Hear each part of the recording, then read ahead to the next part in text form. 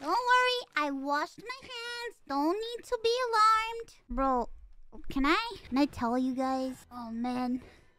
Having your own bathroom is so good. And the, fact that it's so close to me because it's in my room, it's it's helped me so much. I get to practice my walking and it's not like a lot of scary walking. It's like short distance walking, so I get some really good practice steps in.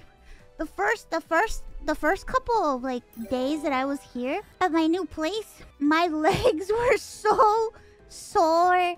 They were so. I've never had such pain in my legs because I'm just not used to walking around. I'm not used to uh walking so much. My legs were jello jelly. Yeah, now they don't they don't hurt as much as they did when I first moved. Uh, because I think I'm getting used to the moving around. I still walk like a deer though.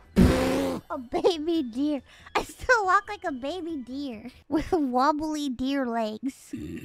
wobbly deer legs and everything.